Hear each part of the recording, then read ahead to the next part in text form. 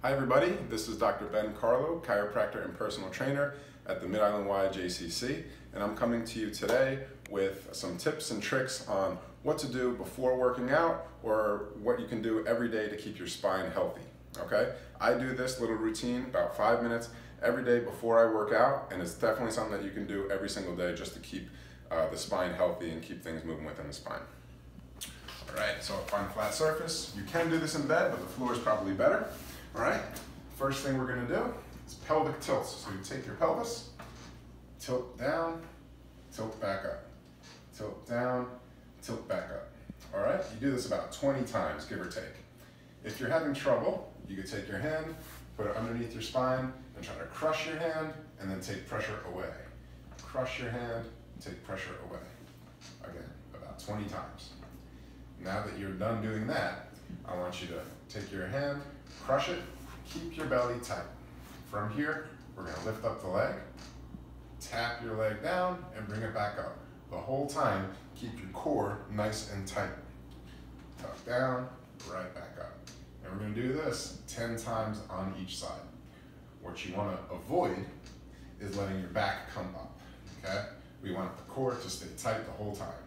Down and back up right? And we do that 10 times on each side. Okay, keep the core nice and tight. Next up, our bridges. Here, belly stays tight. You're gonna press down through your heels and squeeze your butt muscles. Bring your hips up off the floor, all right? Make sure you can take your hands, poke your butt, make sure that it's, uh, it's nice and tight. You can come back down, right back up. Down, right back up.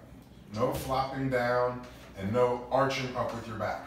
I want you to make your butt muscle really tight. This is a really good, healthy exercise for your spine and for your glutes. So again, about 20 times. If you're feeling advanced, you can do this on one leg. You come down, right back up, down, right back up, 10 times on each side, or you could always go back to doing two legs, just like this. All right, so recap on these. All right, we're gonna do pelvic tilts 20 times. Uh, we're gonna do these heel taps, okay? 10 times each side.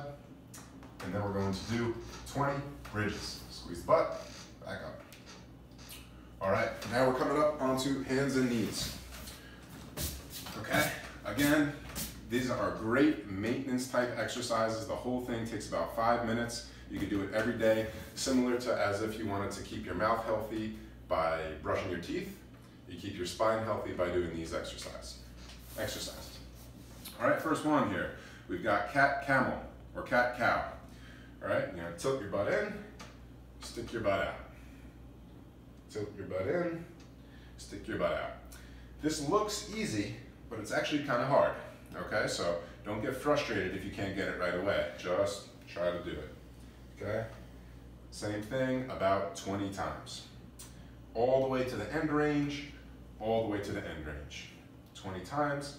When you're finished with that, you're going to find somewhere right in between those two end ranges, make a nice tight belly, okay? And what we're gonna do is opposite hand and opposite leg are gonna go straight out.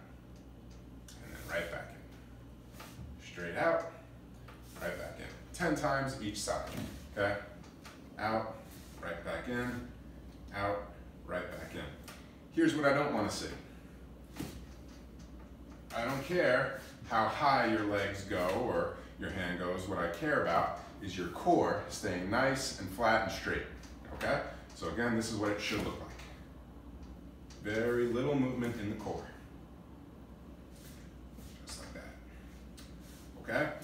Last one, last exercise here is a plank. Gonna come down onto the elbows. And if all we can do is, is stay on our knees, here's what we want, a straight line from your shoulders, hips to ankle, okay? Keep your belly really tight. What I don't want is this, and what I don't want is this. If we want it to be a little bit more challenging, come up onto your toes, and again, straight line from shoulder, hip to ankle. Not this, and not this, right in the middle. It's helpful to do next to a mirror so you can see, make sure that you're nice and straight, okay? And we're gonna hold this for about 30 seconds. The last position we're gonna cover is just a recovery position, okay? Hands and knees, all the way down just like this. This is called extended child's pose. You just come like this, you could rock back and forth, just kinda see how your spine is feeling at this point, all right? And you'll be here for about 30 seconds or so. Then you can get on with your day. All of these exercises could be made more difficult or easier. Uh, if you have any questions on them, feel free to contact me. My number is 516-993-9582. Um, or you can contact the Mid-Island YJCC, they know how to reach me. And uh, these, all these exercises, generally speaking, very good for you, can be made harder or easier and uh, overall a very good spinal maintenance for, uh, for your body and for your brain at this time.